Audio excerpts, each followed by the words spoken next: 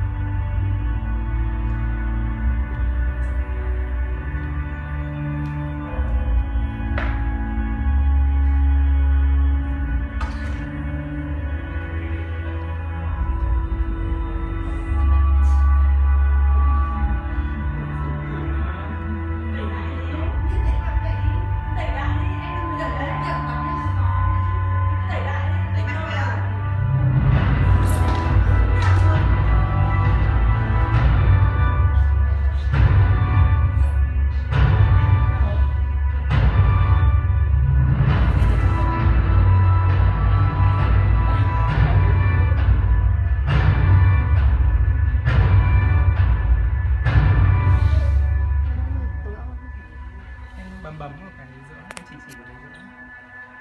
nó lấy nét của cái ánh sáng của cái sáng này